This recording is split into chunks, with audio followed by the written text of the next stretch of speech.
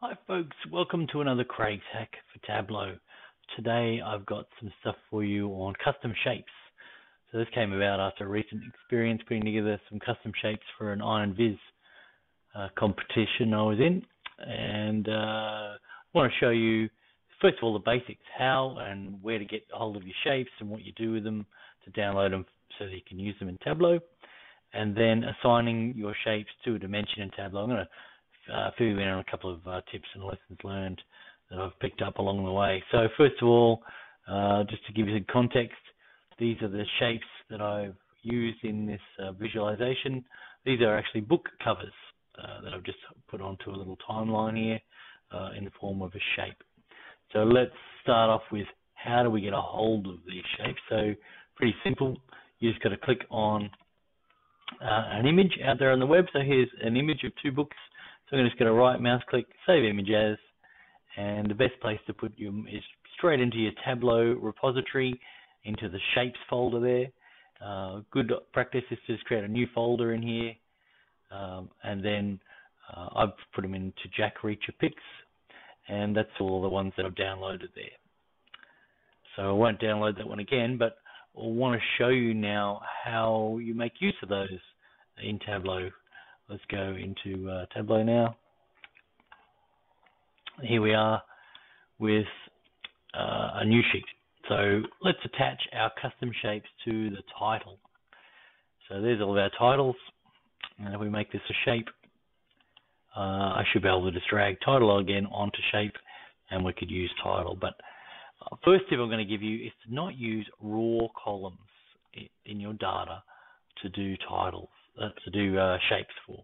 So what I'm going to recommend is you create a simple calculated field here. Let's call it title shape. Now the reason I'm doing this is that what I'm doing is creating a Tableau column, and then when we attach metadata to Tableau columns, they stick a lot better than raw data columns. So there's a couple of scenarios where that title column may be renamed in your raw data to book title, and uh, if you replace references, you lose all the metadata associated with it. Similarly, if your data source is uh, Excel and it becomes, a, say, a SQL Server, and again you replace the data source, if you if your metadata is all associated with a raw column, you're going to lose it all. So it's best to just hang these things off um, a calculated column. So let's go ahead and use that title shape on our shapes, and we're just going to make a bit of room so that they get a bit bigger here.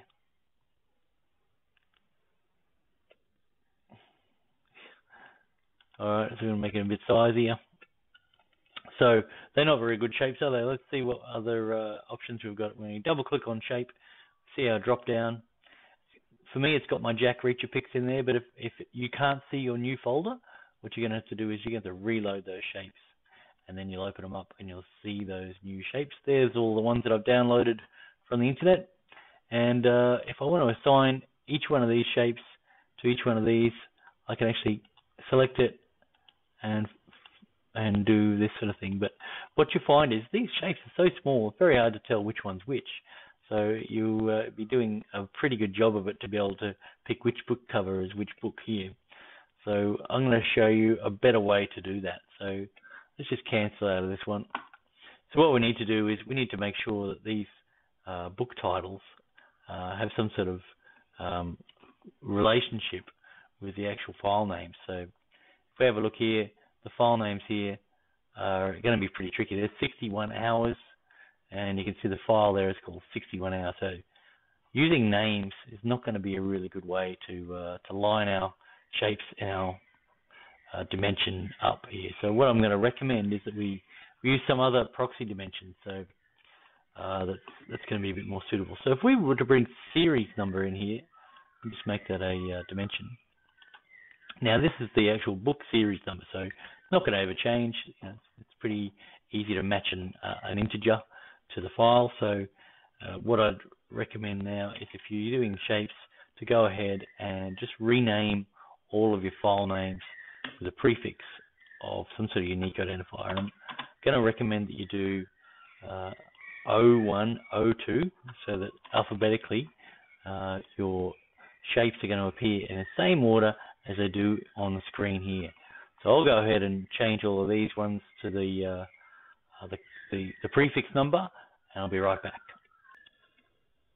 All right, all done. So uh, the, the, magic of the pause button, uh, they're all finished up now, and with any luck, I should be able to link those to these. Let me see how this goes. So um, double click on our shapes again. Again, we probably need to reload shapes now that they're all renamed. I'm going to go and pick my uh, Jack Reacher Pics. And if we assign palette, look what happens. We we uh, we don't actually get uh, the right order. Let's have a look. So see, we got die trying. He's looking at you know, the visitor, and uh, tripwire is looking at night school. So the reason that's happened, see the order of these uh, shapes is uh, still alphabetical. We need to change the order of these shapes to be the series order here. So that's as simple as just doing a um, a sort. And we're going to sort by a field here, the series. And see how now we've got uh, the right order here. So now we should be able to go in, assign a palette, and let's see how we go on. Killing floor matches killing floor, die trying, die trying, tripwire, tripwire.